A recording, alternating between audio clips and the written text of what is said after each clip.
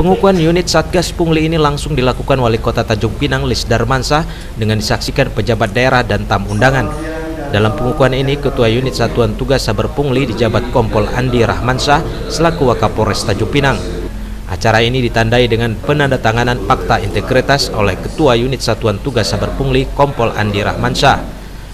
Ruhnya ini kan pencegahan. Bagaimana kita supaya pelayanan publik ini lebih baik gitu dan zero pungli. Bukan kita punya target tidak ada kita adalah pencegahan. Menurut Wali Kota, pembentukan Satgas Saber Pungli bertujuan untuk memberantas praktik pungutan liar khususnya yang terjadi di instansi pemerintahan. Dengan telah dikukuhkan unit Saber Pungli ini diharapkan praktik-praktik pungutan liar dapat diberantas di seluruh instansi yang berkaitan dengan masyarakat. Dari Tanjung Pinang, Maulana Sutian, MNC Media, memberitakan.